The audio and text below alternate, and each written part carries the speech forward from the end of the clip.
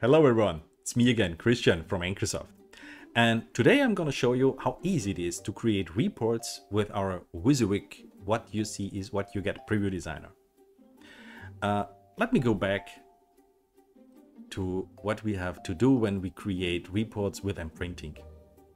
So when it comes to pivot tables and tables, we have to recreate the structure, the levels and the formulas and all the, the columns to have the same look and feel as we have it in our worksheet.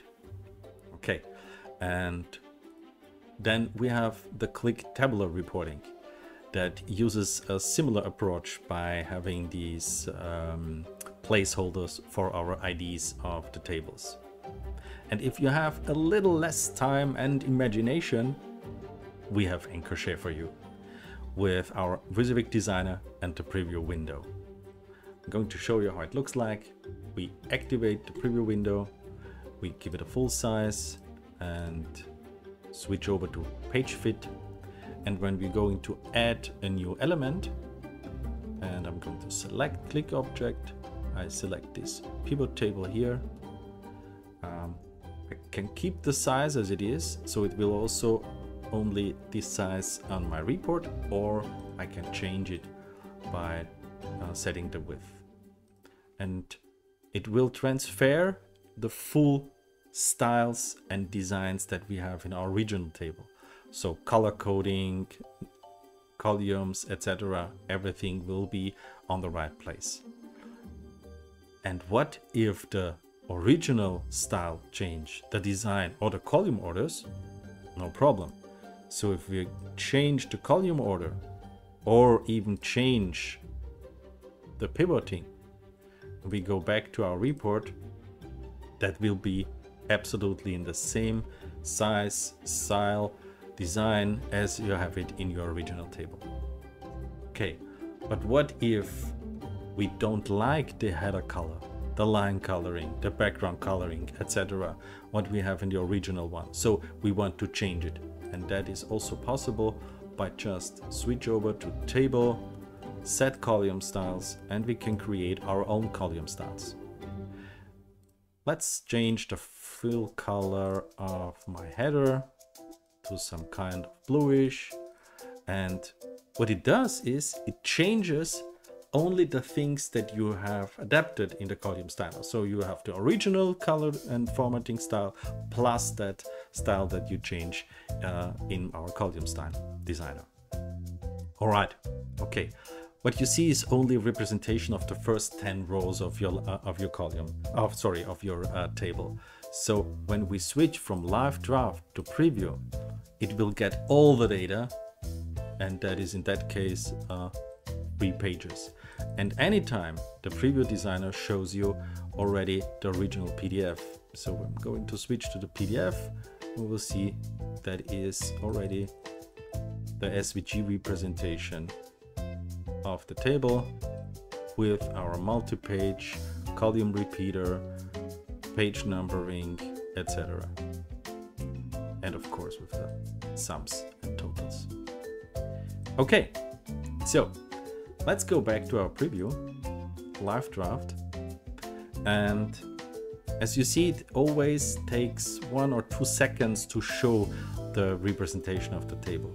And while we work with other objects, we can deactivate this.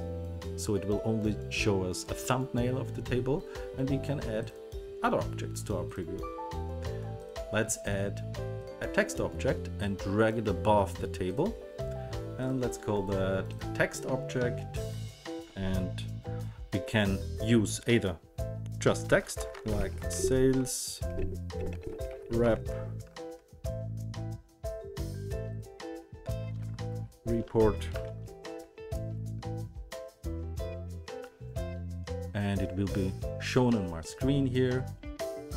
Going by change the font to blue and the fill color to white, give it bold, size 25, bigger on my screen, so it will show all the information directly on my screen while I'm editing the data here.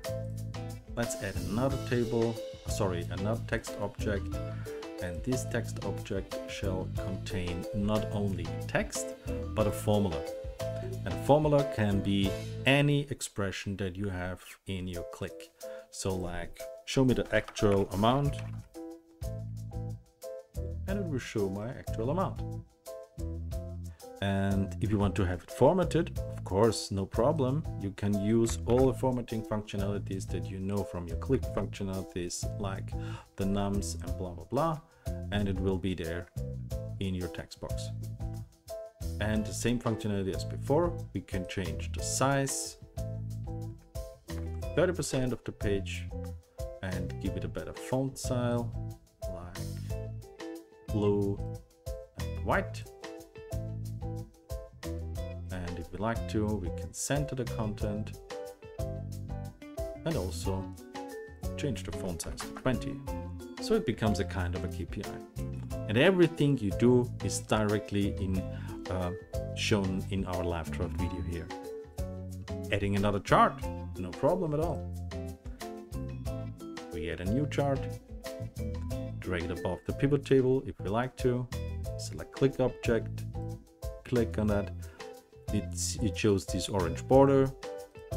Change the size if you like to. Apply and it will become automatically part of my report. And uh, since the size is now 100% in height and width all the other objects has been dragged to the second page so that's why I'm going to set the height only to 50% so the combo chart will be on my first page and anytime if I want to see the final result, I change from live draft to preview and then it will change the thumbnails to the original one. And now we have our report done and ready. And one of the important things is while you work with your report designer, you're always able to copy the current image that you see on your screen to either an image or if you like to you can copy to the clipboard and use it in different other applications. And if you're done, close the preview designer, close your edit sheet, click on the report and just wait for the result. And that was how easy it is to create reports using our WYSIWYG. What you see is what you get preview designer. Hope you liked it. Bye bye.